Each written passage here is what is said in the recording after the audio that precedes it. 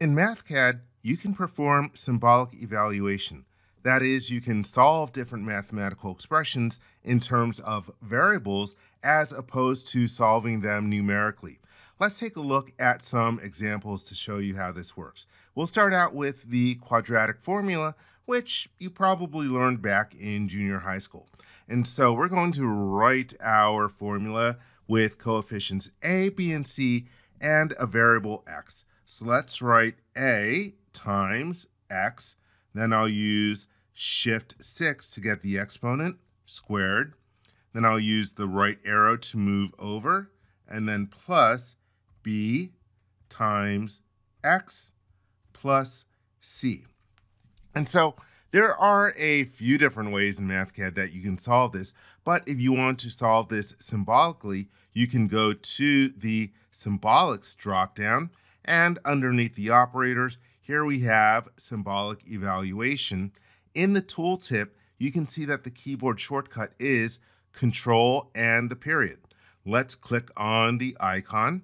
And right now it's just giving us the same expression over on the right-hand side. If we want to solve this, we'll add the solve keyword. If I go to symbolics, here we have our keywords, and this one is for solve. I will click on that, and then we'll use the comma and say what we want to solve this in terms of. And this will be the variable x, and then I will click outside of this uh, expression, and we get it evaluated.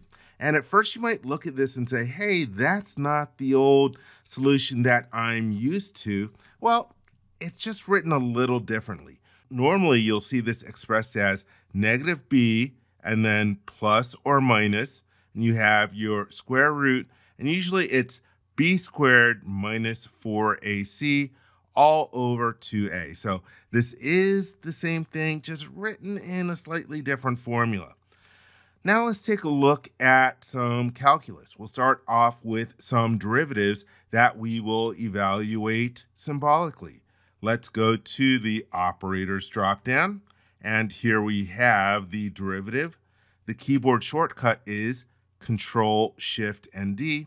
Let's click on the command, and then I'm going to type in X as my variable and then you can choose which derivative that you want to get. I'm just going to go with the first derivative. And then in the placeholder, let's put our quadratic expression. I will use the parentheses, and then let's do a times x, and then shift 6 for the exponent squared, and then right arrow, plus b times x, and then plus c. And let me move over to the right.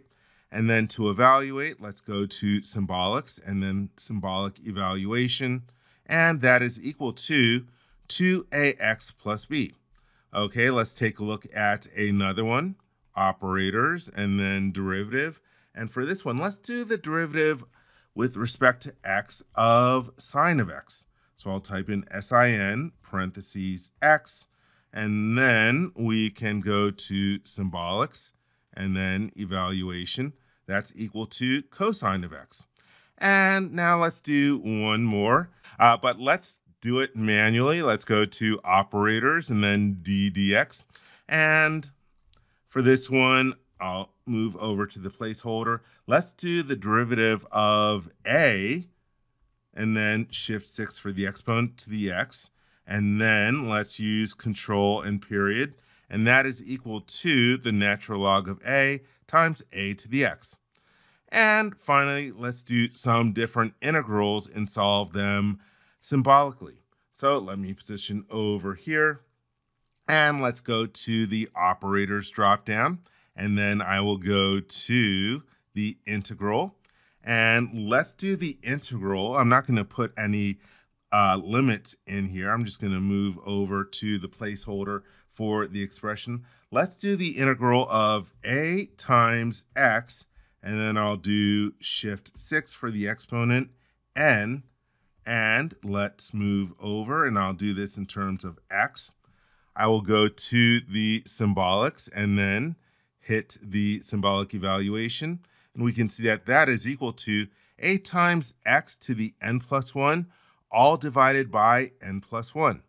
Let's do another one. Let's go to operators, and here is the integral once more. This one is Control Shift I. And let's do the integral without any limits. Let's do the integral of moving over to the placeholder, 1 divided by x, and then moving over to, and then type in x. Let's go to symbolics, evaluation. That's equal to the log of x. And for the last one, let's do operators and then integral. And I'm going to do, let's do secant, and then I'll do theta. And for theta, if you go to your symbols, that would be this one over here, and that's the letter Q, and then the keyboard shortcut Control G will convert it to Greek, and I'll use that when I do d of theta. So let's do secant of theta, and I want secant squared, so I'm going to highlight everything, and then shift 6 for the exponent, squared, and then move over using the arrow keys to the placeholder, and I'll do Q, Control G, and now to evaluate it, I'll once more use the keyboard shortcut, Control and period, and that is equal to the tangent of theta. So in that way, you can see that we can perform our different symbolic evaluation, including solving and derivatives and integrals.